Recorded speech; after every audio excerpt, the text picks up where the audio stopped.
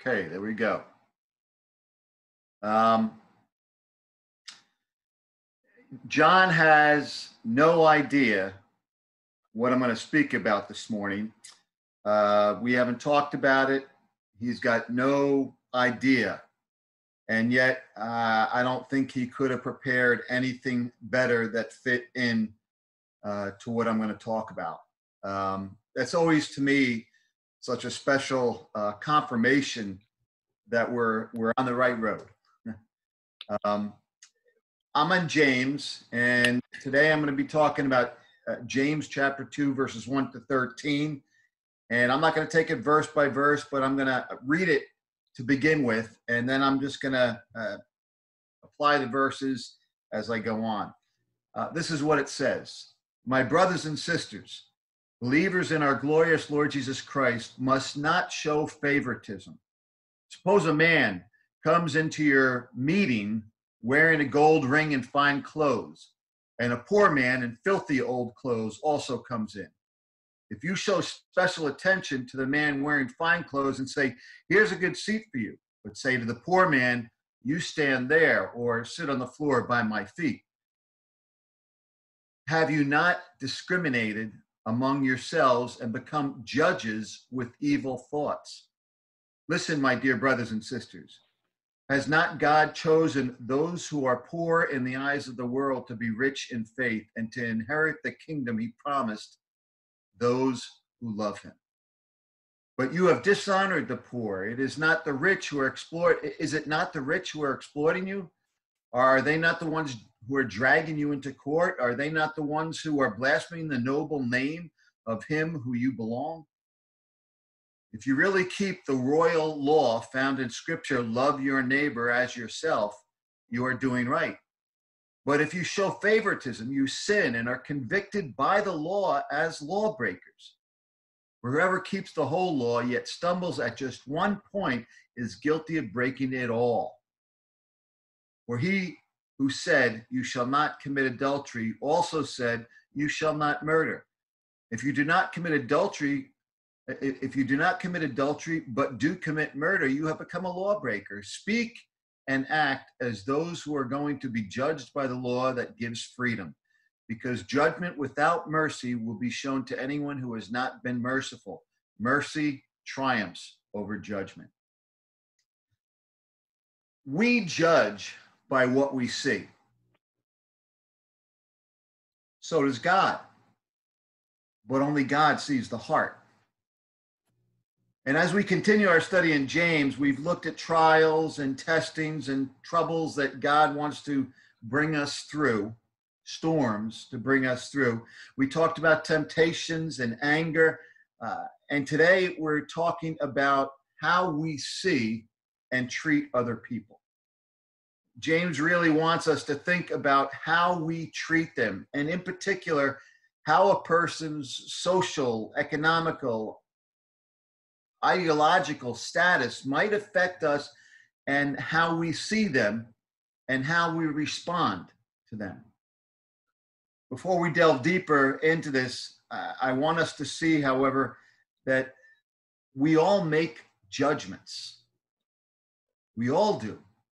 We might say, No, I'm not a judgmental person. We all make judgments. And the Bible says it makes no difference to God today whether you are young or old, whether you're highly educated or you're not, whether you're famous or you're unknown, whether you're black or white, or for that matter, pink and purple polka dotted. He doesn't care what political party you're with. He doesn't care what religious denomination you're from. He wants you to know him and he wants you to come and experience his love. God doesn't love you more or less according to the color of your skin or the clothes on your body. He doesn't judge like that. We do, He doesn't. He's not impressed by the cars we drive, the fashions that we wear, or that you have more degrees than a thermometer. It makes no difference. Second Chronicles 19:7 says that with the Lord our God there is no injustice or partiality. That word partiality means favoritism. That's what James said. treating people differently in an unfair way. Of course, people are different. But isn't that the genius of God's creativity? That nobody's the same, that we're diverse? Isn't that what makes a beautiful bouquet? The Lord deals with us as individuals, much like a good parent who loves their children all the same, but treats them all a little bit differently because he understands their differences. Deuteronomy 10 17 says, The Lord your God is God of gods and Lord of lords, the great God, mighty and awesome, who shows no partiality. The old King James Version, it translates this as God is no respecter of persons.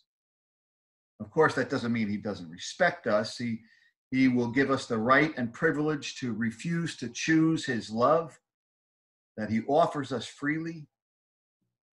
He won't force it on us. The gentleman. Some new versions say that God doesn't play favorites. The prophet Samuel, when was told that when he was looking for somebody who God could and would use, God said to Samuel, People judge by outward appearance, but God looks at the heart. First Samuel 16 7, it says that Samuel found, or rather, God found the one nobody that nobody else would have chosen. David was the youngest. In the eyes of his brother, maybe even his daddy was the runt of the litter. And God said to Samuel, Here's a man after my own heart. He's going to be king of Israel. Nobody could have predicted that. As you read through the Bible, have you ever noticed how time after time God picks other people that we would judge as unworthy? In fact, I'll bet that they themselves would probably have ruled themselves out we might look into the mirror and not like what we see. But remember, James told us that in the last chapter, he said that the Word of God is the most trustworthy mirror that we can look into because His Word, His Word sees who you are at the heart. His Word allows us to, to, to, to, to dwell into our inner being that we might like, not like to not like to to delve into. We judge by what we see, and so does God, but God sees our heart. What is favoritism? James 2 1, he says, My brothers and sisters, believers in our glorious Lord Jesus Christ, must not show favoritism. The root of favoritism, it, it means to lift up somebody's face, to elevate them, lift up somebody's face. I'm looking at this. I think I need a facelift. the idea is to judge somebody and take them at face value. Okay? A superficial evaluation of a person's worth based on nothing but what appears on the outside, the surface. So James is telling us here that showing favoritism, judging on the outside appearances, is absolutely incompatible with being a Christian. In verse 9, he says, But if you show favoritism, you sin and are convicted by the law as lawbreakers. If you do that, you break God's law. Let that sink in. That's pretty potent. That's pretty strong stuff. Now, let's remember who James was. Jesus' half brother. He grew up with this older brother that he would call Yeshua, an ordinary name like my Joshua, and James' name would have been Yaakov. And then there was Jude, and there was some other brothers and a sister that's unnamed. An ordinary family, if you're judging by appearances. We don't know the birth order for sure. We know that Jesus was first, obviously. But it's pretty clear that Jesus knew he was something special. It's pretty clear that Mary knew he was something special. I mean, after all, she had the angel Gabriel come and tell her. And Joseph knew about the special virgin birth, he knew Jesus was special. They had these visitors come and bring gifts for the king when he was a little baby in a manger. They had to escape at night to go to Egypt. And then as Jesus grew, Mary and Joseph had other children together. And this must have been tough for James growing up. I mean, how do you deal with a perfect brother, a perfect older brother? He sets the bar, especially when Jesus begins to leave home and he starts preaching and healing and doing these miracles and he, and he gets into trouble for it. I mean, James, James literally thought Jesus was going crazy. In fact, his whole family did. At one point, they tried to come and get him. But if you want to prove you really are God, dying, then rising again, that would probably do it, right? now, James has come to see that this Jesus, his brother, died and rose again and appeared to him. He stopped calling him my brother. And he realized all along he was my Messiah, the Lord Jesus Christ. God came to live with us. The word became flesh and moved into our neighborhood, as Eugene Peterson in the message says. Now, when we get that, whatever growing up was like and whatever the, the, the word family means to you, it really helps you not feel inferior or superior to anyone else. You're just amazingly blessed. Because the most important person in the universe, the King of Kings, the Lord of Lords, doesn't just want to be your friend and my friend. He wants to be family with us forever. The most important VIP in the universe has come to meet you and I to find us, to love us, and to invite us into his family forever. So James says, brothers and sisters, don't play favorites. Now, the outworking of that inward realization is that we shouldn't go around judging by externals. After all, this this person we're judging may end up being our brother and sister forever. And isn't it weird that James specifically says this should not happen in our meetings? Some other translations it says gatherings. The word means synagogue. Essentially, it means church. So he's writing to the early Jewish believers in Jesus before the opposition became too fierce and they ended up being scattered saints, kind of like what we are now with this COVID virus days. And he's addressing them and he said, This especially shouldn't happen in your meeting. So obviously it was.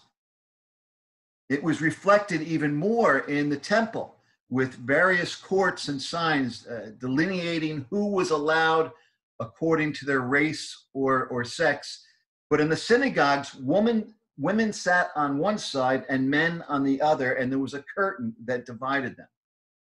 There were seats of honor, and you were graded in important. They were graded in importance. So people are sorted according to their, their rank and status in society. That's that's how it worked. Now imagine James says some real rich guy or girl, you know what? from experience. Let's just say a celebrity drives into the church's driveway for a Bible study that she heard about. I'm thinking 1986 in New Jersey when my college and career group was in full swing and we were getting 50 to 60 people on a Tuesday night for Bible study, people in their 20s and 30s coming out regularly. So I was a 26 year old single guy who got plugged into this because God saw fit to choose somebody unworthy like me. And he called me to ministry. And so as I'm sitting there getting ready for the Bible study, she walks in. Besides being gorgeous, she was a bit of a celebrity and available. She comes with all the pomp, all the glamour, the leather pants, the very stylish shirt, lots of showy ju- ju- ju- uh, jewelry. She was just a knockout. Now, what do what do you do with her? Everybody knows notices her. I mean, what's not to notice? She sticks out. Do you roll out the red carpet? Do you treat her differently? No. Do you treat them as you do anyone who comes rich or poor, celebrity or non celebrity? Yes. You welcome them, you love them, you tell them that, that King Jesus became poor for their sake when they came to when he came to die for our sins and that he's now alive and wants to be their best friend. You treat them the very the very best you can so that they know that god loves them. The outside doesn't matter. However successful they might look however prosperous in this life they need the lord to live in their hearts to change them from the inside out.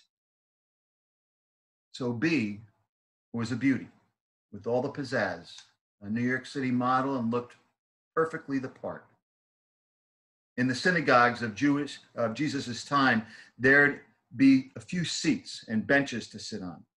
Most people sat cross-legged on the floor, unless you were a little up in status. That wasn't the case in my day. We had lots of seats for everyone. We had couches but what if I'd been so bedazzled by this newcomer that I made sure she had the best seat in the house? And, and let's just say I was going to give her a seat where she would have happened to sit close by Kenny. Now, that never happened. I'm just using an example. Let me give you a background. And Ken, Kenny was really poor, homeless, in fact. He had a host of other severe issues and say he got up and went to the bathroom and I gave his seat away so that she didn't have to sit near him. And Kenny comes back and Kenny sees that his seat was taken and Kenny just sits on the floor. Now, that's exactly what Kenny would have done. He was one of the gentlest souls I have ever met but it always seemed like Kenny had one set of clothes, and by his smell, he probably lived and slept and in them. And I remember on one occasion when I would take him out for dinner after Bible study, he would always take his napkin and save half his meal and put it into the napkin and and take it home with him. At first, I didn't say anything to him. I thought he was keeping it for a snack later on couldn't finish his meal. And then one day I, I, I, asked him, and, and by the way, he lived on the corner of Route 4 and Route 17 in New Jersey in the woods, little lean to that he built. Unless he had someone's garage to sleep in, but he didn't like to do that because he didn't like to put people out. He was homeless. I asked him, Kenny, why do you take half your meal and put it in? He goes, That's for Roxy. Roxy was his dog. And he always took care of her and he always made sure that when he ate, she ate. And he brought it back for her. And Kenny had it rough. At 13, he came home to find his dad hung himself in the living room. And from that point on, he went into drugs and eventually went homeless. Kenny died one day in the woods with Roxy protecting his body until the police the police came and and would capture her and put her up for adoption. But I believe in my heart that Kenny knew Jesus. And he didn't hesitate to talk about him. I believe he is my brother. And I believe I'll see him again. Now, there's nothing wrong with giving the new girl a good seat, literally an elevated seat, as long as you do the same for the poor guy, too. But if I don't, judging by appearances, making a prejudgment about them, I've become prejudiced. I've become what verse 4 describes as a judge with evil thoughts. That word evil here can translate as vicious, judging that the well off are better than the poor. And just so you know, the ending to the story B became a sold out Christian, married a pastor, lives down south. Kenny passed away, but he affected so many people with his gentle spirit and soft heart. James says that now we are one family. In verse 5, it says, Listen, dear brothers and sisters, has not God chosen those who are poor in the eyes of the world to be rich in faith and to inherit the kingdom he promised to those who love him? But you've dishonored the poor. Is it not the rich who are exploiting you? Are, are they not the ones that are dragging you into court? Are they not the ones who are blaspheming the noble name of him to whom you belong? We live in a, in a world where a handful of men own probably more than the poorest half of humanity. I, don't know how those wealthy men spend their money. James says that how we use our money demonstrates whether or not we bear a family resemblance. basically what he's saying is which kingdom means more to you, the kingdom of God or the kingdom of the world? And, and I want to stress how we use our money, not how we spend our money. There's a difference. God is given so that we can use. He doesn't give so that we can just spend on our wants. That's, and I want you to understand, I'm not saying it's wrong to be wealthy or rich. Absolutely not.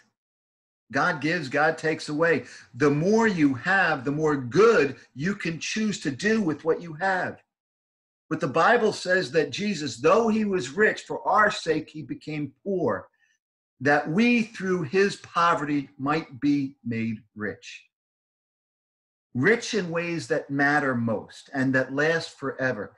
He spent his time not in palaces, not with the influential people, but in places of poverty, with those who had little common folk.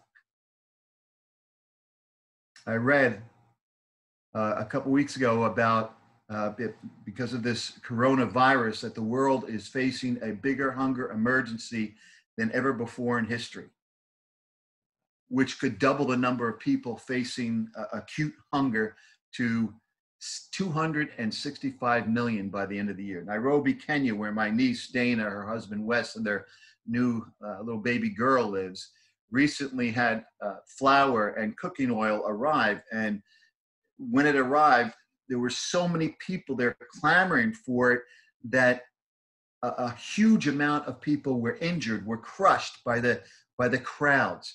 Some people were killed because of the crush of people. Can you imagine that 135 million people around the world were already on the verge of starving and facing uh, acute food sort, uh, shortages, and now the pandemic has hit? So they're saying 130 million more could go hungry, hungry, hungry by 2021. That's a not a good picture. And our, our, our first response is either fear or generosity. I have been so overwhelmed uh, by our church, Taconic Christian Church, and how we have always chosen to be generous. We want to help those who are struggling, and we have. And I think we've been blessed so we can be a blessing. Proverbs 28 27 says, He that gives to the poor shall not lack, but he that hides his eyes shall have many a curse. There's a promise for the generous. You can give and give and give, and God will replenish. He will give it back. He'll put it right back. And that's not saying that that's why we give. We give out of the goodness of our heart because God has blessed us, so we pass that blessing along. And when God sees that, He says, I can bless you because you're going to bless others with what I've given. There was an old farmer who was always giving money away, crazy amounts, but yet he never seemed to lack. And so he was asked how it worked. And the farmer said, God keeps filling my barn. I go in there and throw it out, but he just keeps throwing it in. His shovel is bigger than my pitchfork.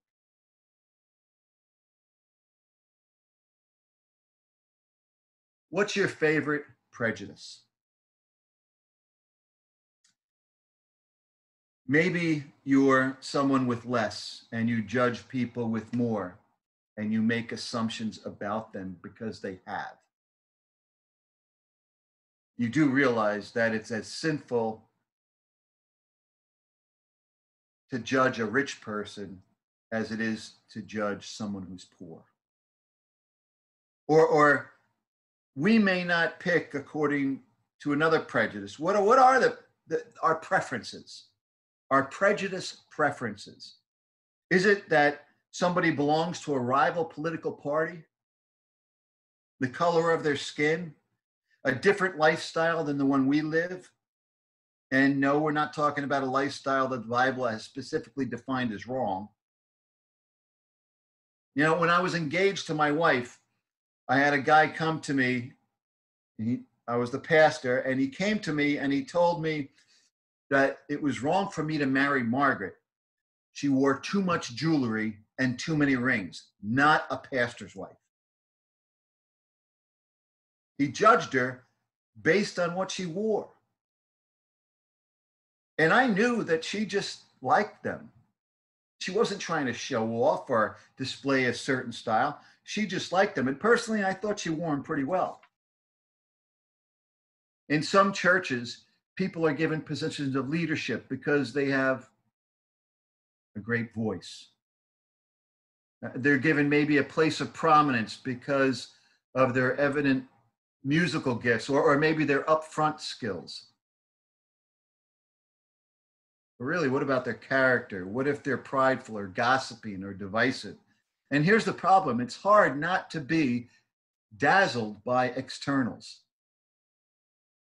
And all too often, it takes time for character to be revealed. The way you change your mind is to challenge your stereotypes and break your prejudices. We do that by looking at how Christ cha- treated people, all people, and imitate him. You meet people who are different, and then you discover that they're people. You discover what's at the heart of this exterior. You find out who they are on the inside, and surprisingly, they become your friend. God loves to paint using every color and shade. It's never just black and white. He loves people, all people.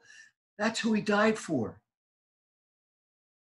So, in conclusion, James is saying to us here that discriminating against another person who God made and loves breaks his heart.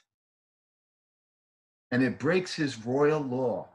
So James said, verse 8, if you if you really keep the royal law found in scripture, love your neighbor as yourself, you are doing right. But if you show favoritism, if you sin and are convicted by the law, you are convicted by the law as lawbreakers. In chapter one, James showed us that God's law, his word, is like a mirror. And here he says, if you break the mirror in one place, you break the whole thing. I mean, isn't that the way it is? You smash a mirror in one place, you throw it out. This is why we need grace. That's why we all need the Lord. That's why we need to carefully evaluate how we look at others, how we see others.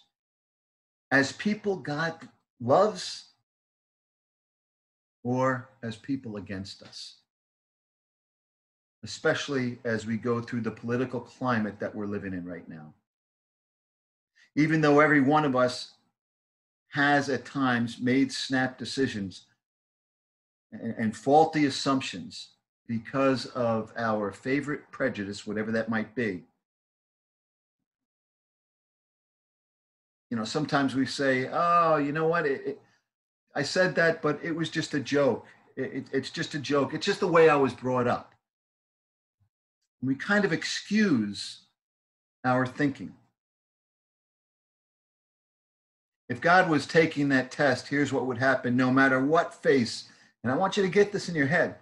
If God's taking this test where faces come up, and no matter what face appears on the screen, the word that God would use automatically that he would push to assign to that face, no matter what the race or the gender, rich or poor, Democrat or Republican, the only thing that he would say is, I love them. I love them. John talked before about John 3:16 and 1 John 16 and he emphasized love. Love, love, love. And that's that's the bottom line here. Includes me and you. Thank God we are loved. No matter how many times no matter how many ways I've been wrong, that I've done wrong, he says to me, Dave, I love you. I forgive you. I love you. And I want you in my family. Why me? And by the way, the person you may be holding a bit of prejudice against for whatever reason, and I prefer the word prejudice rather than racism. Racism is about color, prejudice is about difference, and it is so prevalent in our society, always has been, always will be, because we're humans. But there are certain truths that we as believers need to hold on to. Number one, that God is God and we are not. Number two, that His truth, His word is truth, and it is our absolute absolute authority, period. And number three, that he loves all men and women, no matter what. All.